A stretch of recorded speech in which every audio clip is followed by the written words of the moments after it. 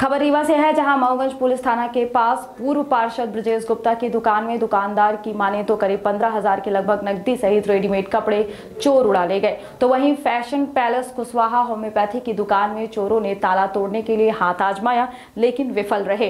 यद्यपि चोरी के शिकार फरियादियों की निशानदेही पर थाना प्रभारी के द्वारा बीते दिनों कई संदिग्धों को उठाया गया, लेकिन पुलिस को उनसे भी कुछ हाथ नहीं लगा है। उधर पुलिस को नगर में सक्रिय चोर गिरोह की धरपकड़ में तेज़ी लाने के बाद ही नगर चोरों के आतंक से मुक्ति मिल सकती है। नगर में चार जगहों पर चोरों के द्वारा ताला तोड़ने से लोग भयभीत हैं। वहीं चोरी की वारदात सीसीटीवी कैमरे में भी कैद हुई है जिसके आधार पर पुलिस बदमाशों की तलाश कर रही है। नहीं डंडा उठाए कैमरा बंद करे। आदमी गुस्से हैं तो दिखा दो ना ना मान अमन हाँ। हाँ।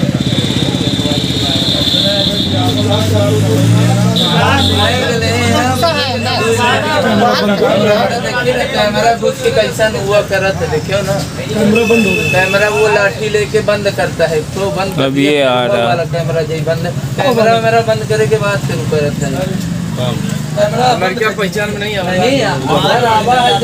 सब कूड़ा फेंके रहे पूरी फ़ाइल पास बुक रहा है सब सब कूड़ा फेंके